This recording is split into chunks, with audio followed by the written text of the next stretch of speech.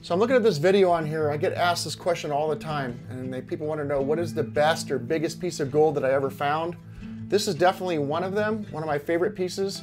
This is a giant quartz rock, about the size of a cantaloupe that I dug that was pretty deep. It was a very painstaking dig and probably just as painstaking for you to watch it here in a minute as it was for me to recover it. I probably should have just stopped what I was doing and backed off and got a big old heavy pick out and just chopped the ground up and got this thing out, but instead I tried to use a little tiny trowel and a pinpointer and take my time to get this thing out. So it's a little bit excruciating to watch, but I apologize for that. But if, if you just kind of skip to the good parts, you get to see it come out of the ground and we weren't really able to enjoy it right away because of the mud on it was so thick around the outside of the quartz that we're hardly able to see how much gold was in there.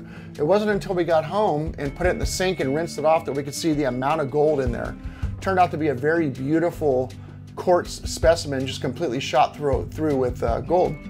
And I used a, a multi-tester, which is a electronics testing device that you can use to check circuits and capacitors and resistors and transistors.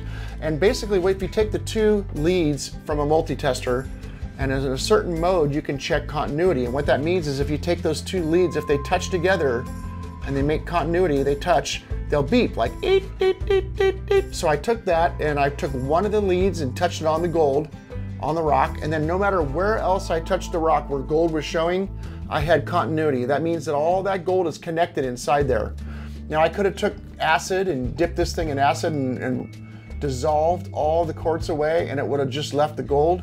The quartz over time would just dissolve completely away and you'd have this big crazy looking piece of gold, which I guess at that point you could just sell as is or melt it down and sell it. But here's the thing, the, the quartz came out of the ground with the gold in it from Mother Nature and you have, not only do you have gold people that are interested in this specimen with gold in it that, that are buying it or want it because of the gold. But you also have gem and mineral collectors because it is a gem or a mineral from the earth full of gold and it's quartz with gold. So then you have two different collectors that might want it. And then there's a third group even, maybe even a fourth, but the third group would be your museums and people that want to show off what gold looks like in its natural state because that beautiful white quartz contrasting with that gold just gives a really pretty look in a display case or in a museum. So anyway, having said all that, I'm gonna have you guys watch the dig. And uh, before we do that, I wanna tell you one last thing. I took this thing and weighed it using something called the specific gravity test. That's a test by which all pieces of quartz with gold in it are tested and by which the results of it are so widely accepted that all quartz with gold in it is bought, sold, and traded using this technique. So there are some people that may come into the comment section down below and say, oh, it's not exactly perfectly right. Well, it's good enough for most of us. There's other techniques you could use like an XRF gun and some other things, some X-raying. And But look, here's the thing. All of us that buy, sell, and trade quartz specimens with gold in it, we do the same test. And that's how we like to buy, sell, and trade these. So anyway, it's accepted by all of us and, and it's good enough for 99.9% of us. Yeah, you'll see at the very end of the video, we weighed it using the specific gravity test.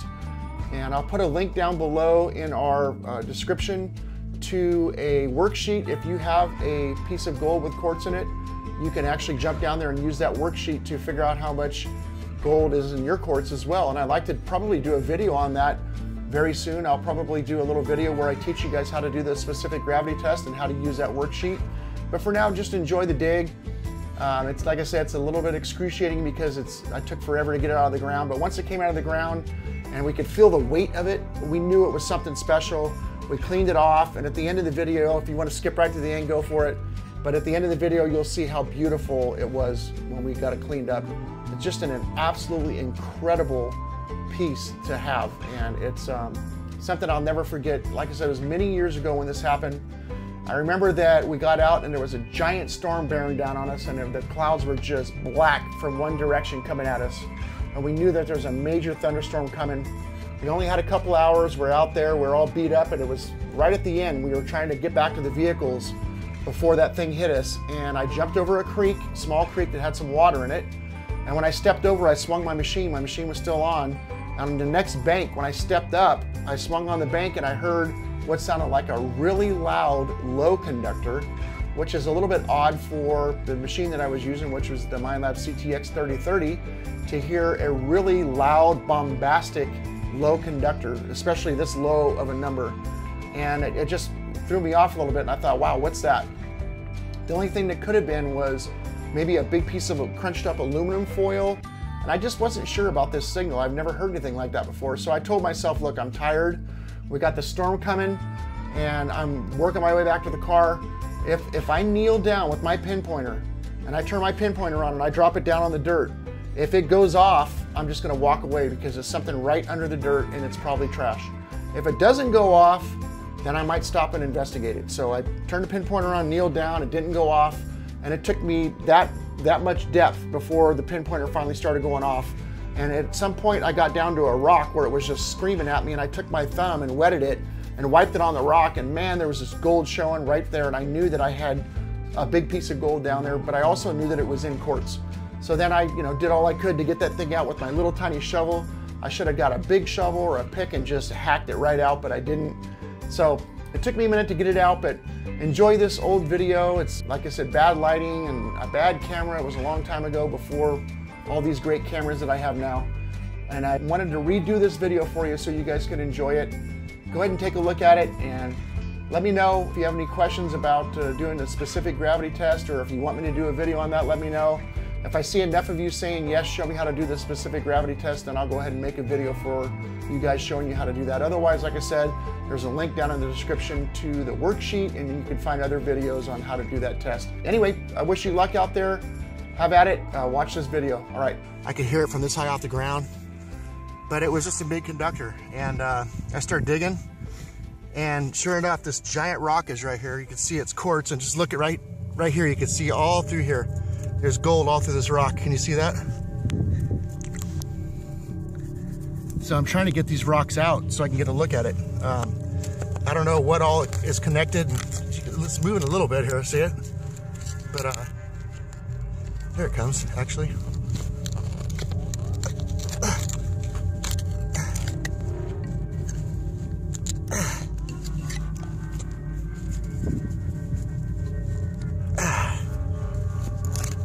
The problem is, is the rocks are all sandwiched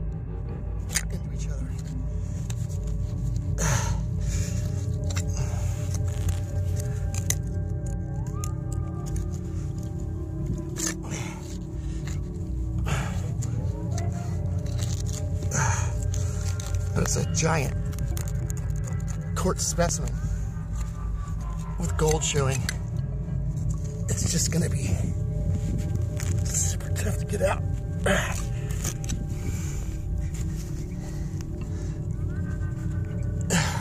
A little finesse, maybe. It's wedged.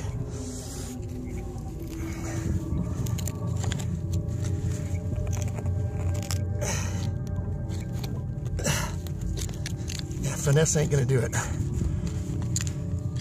Let's try this direction.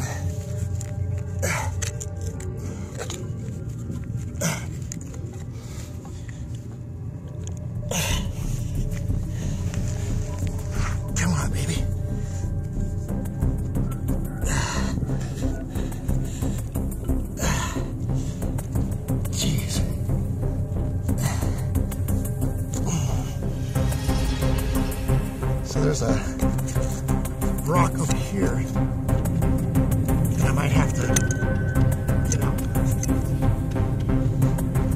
it's holding it right on the edge of there.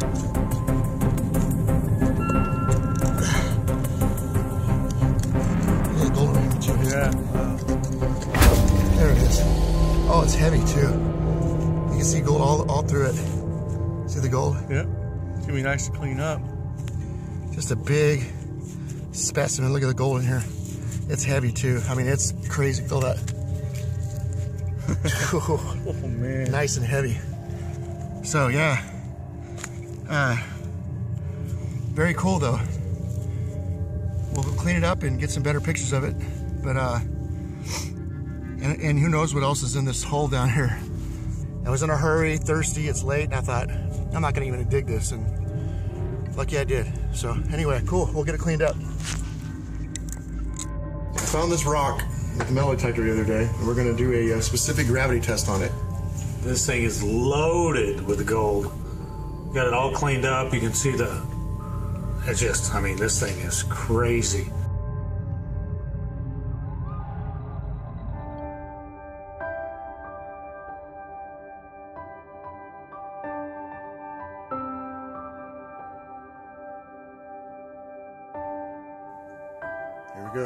Go. Here we go. This is this is how many ounces of gold is in that rock.